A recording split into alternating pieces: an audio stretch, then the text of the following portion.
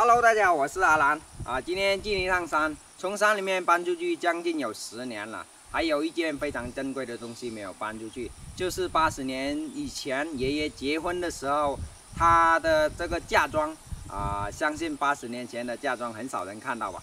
现在带大家进去看一下。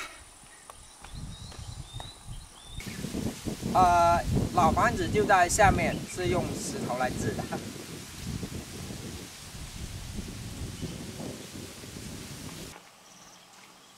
到了，这石头屋也是之前来酿酒的。现在南瓜成熟了，好大一个。好，现在把门打开，我们去看一下。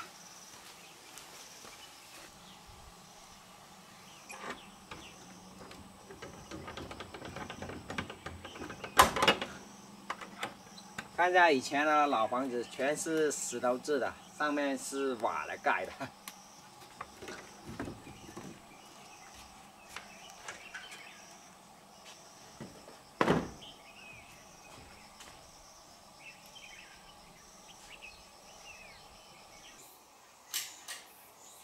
啊，这老房子久了没打理了，但是还是通电的。爷爷的嫁妆就在外面那里了。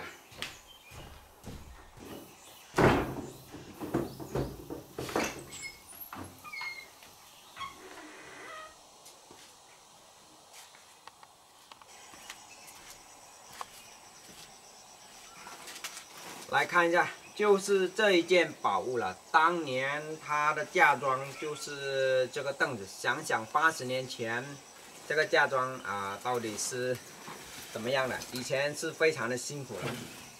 记得以前好像这个石头屋都还没有制，是用这个竹子围起来的，就像那边一样。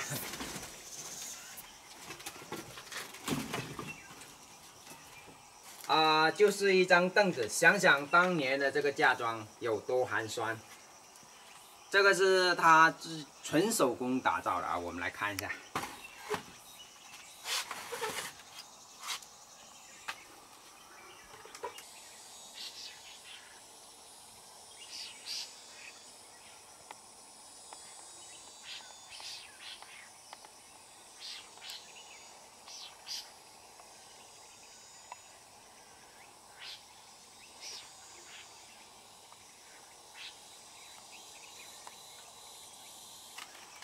看一下，以前全是用竹子一个一个的把它制好。看一下里里外外是这样子的。不知道他啊以前去哪里拿的这些，应该是山上的这些竹子，怎么这么精的？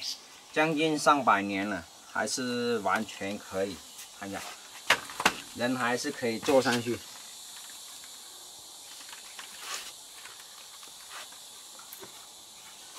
啊，这张凳子爷爷他非常的心疼啊。当时他生病的时候，啊，这凳子都是在他的这个床边。平时我们打饭去给他的时候，都直接啊放在这个凳子上啊，叫他说啊起来吃了。看一下，这是陪嫁，对他来说意义非常的重大。啊，今天我来也是把它搬回去，然后重新刷一层这个光油啊，也对它就是老人家作为一个纪念吧。看一下，以前他的手工也是非常非常的好，现在可能很难找到这种竹子这么精的了吧？反正是八十年以前了。现在应该很少人搞得出这样子的这个手手艺了吧？看一下，以前他的手艺也是相当的好了，一步一步的把它接好起来。这里好像是什么字一样，我也不认识。最主要的是以前这些竹子好啊，看一下这里都是搞的光溜溜的、滑滑的这些地方。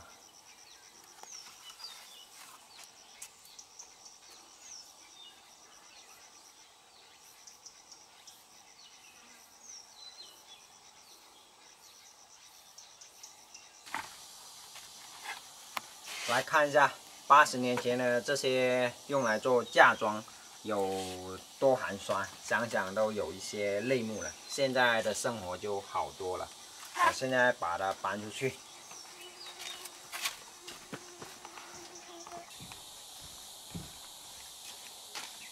好，现在拿出去就要明天或者是过几天就去买这个光油来重新刷上去做啊纪念吧。